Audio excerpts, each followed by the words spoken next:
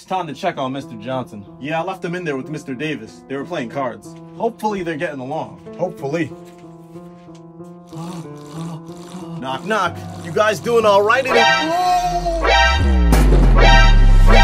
ah, he's mine! Oh, God.